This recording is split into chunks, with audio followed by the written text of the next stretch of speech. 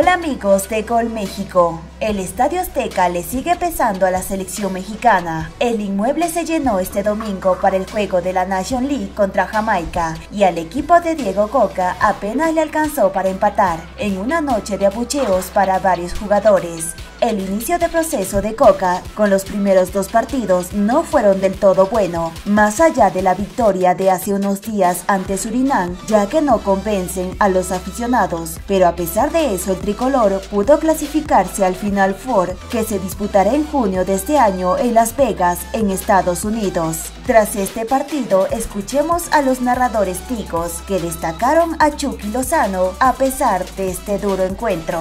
La puso a temblar el Chucky Lozano en estos últimos 42 minutos de juego. La metralla pegó en el tubo, se salvó. Se salvó, mis amigos, el equipo jamaiquino. Chucky Lozano trae un balón en el tubo. Lo mantenemos informado minuto a minuto. Este Chucky tiene pólvora en los pies.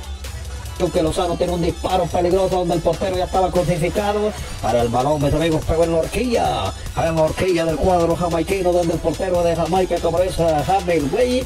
La puso a temblar el Chucky Lozano en estos últimos 42 minutos de juego. La metralla pegó en el tubo, se salvó.